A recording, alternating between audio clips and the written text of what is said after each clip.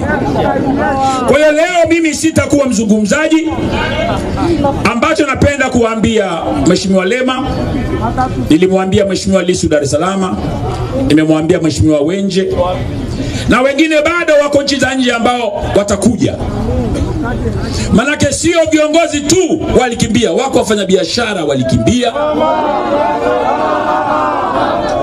eh? Kuna Roma Mkatoliki. Kwa hiyo wako watu wengi ambao walikimbia dhahama iliyokuwa katika nchi hii.